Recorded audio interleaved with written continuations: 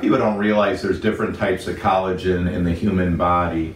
Type 1 collagen, which is what makes up the ligaments, which makes up 90 to 95% of the ligaments, gives strength to the ligaments.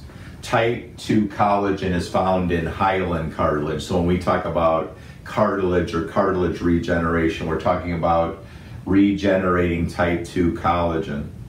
Type 3 collagen, though it's in ligaments, it only makes up 5 to 9% of the ligament. Now, type 3 collagen and type 5 collagen, those are often the collagens that are deficient or defective in Ehlers-Danlos syndrome. So when somebody gets diagnosed with Ehlers-Danlos syndrome, the genetics of the type 1 collagen is actually normal. So that's why they respond really, really good to prolotherapy. Type 3 collagen, which is affected in Ehlers-Danlos syndrome, only makes up 5 to 9% or so of the collagen in the ligament.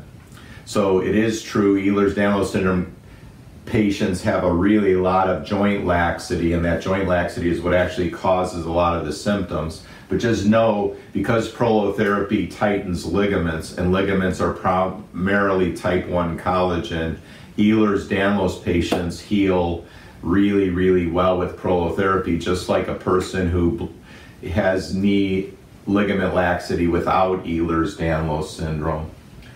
If you have a genetic uh, deficiency or, or mutation of type 1 collagen, that disease is called osteogenesis imperfecta.